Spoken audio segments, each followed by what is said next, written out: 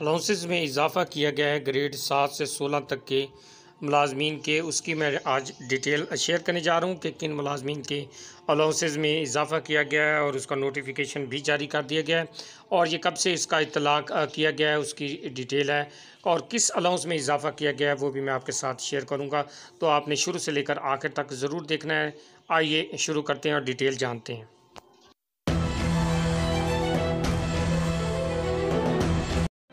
वालेकुम दोस्तों, आप देख रहे हैं डेली एम्प्लॉज़ न्यूज़ एक न्यू अपडेट के साथ आपकी खिदमत में हाज़िर हूँ।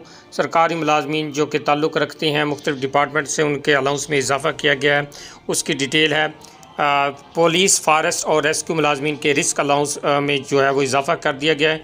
ग्रेड सात ता सोलह सिपाही से इंस्पेक्टर तक अलाउंस यकम जुलाई 2022 से नाफिजुल होगा।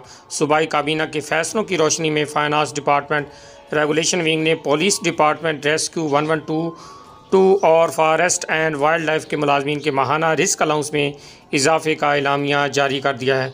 अलग अलग जारी एलामिया के मुताबिक ग्रेड सात से ग्रेड सोलह तक सिपाही से इंस्पेक्टर तक का रिस्क अलाउंस में इजाफे का एलामिया जारी किया गया है, जो कि यकम जुलाई 2022 से नाफिजुल होगा।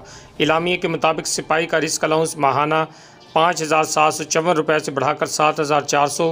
हेड कांस्टेबल का छः हज़ार दो सौ सत्ताईस से बढ़ाकर आठ हज़ार।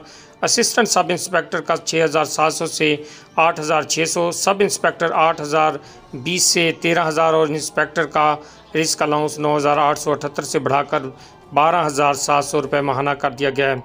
Rescue one one two two में तैनात ग्रेड सात से ग्रेड सोलह के मुलाजमीन के रिस्क अलाउंस में दो हज़ार सत्रह के बुनियादी तनख्वाह पर पैंतीस फ़ीसद, जबकि forest and wildlife department के ग्रेड सात से ग्रेड सोलह तक के मुलाजमीन का जो माहाना रिस्क अलाउंस जारी किया गया था, इसके मुताबिक ग्रेड सात के लाइफ वाचर को पैंतीस सौ तीस, फॉरेस्ट गार्ड को छत्तीस सौ पैंसठ, हेड वाचर को अठतीस सौ बीस, फॉरेस्टर को उनतालीस सौ पचपन, डिप्टी रेंजर चार हज़ार एक सौ पंद्रह और रेंज ऑफिसर फॉरेस्ट अलाउंस छः हज़ार साठ मुकर किया गया है।